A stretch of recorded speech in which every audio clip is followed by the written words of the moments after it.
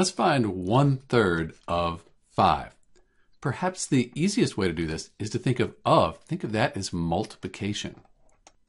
So now we have one third times 5. And for the 5, if we think of this as 5 over 1, it's still 5. 5 divided by 1 is 5. But now we have numerators and denominators, and that's going to make it a lot easier to find one third of 5. Because now we can just take the numerators and multiply those. 1 times 5, that's 5.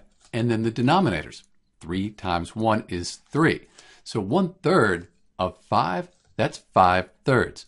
This is an improper fraction. Let's change this to a mixed fraction. 3 goes into 5 one time with 2 left over.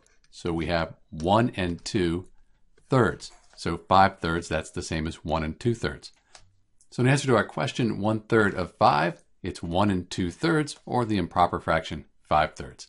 This is Dr. B, and thanks for watching.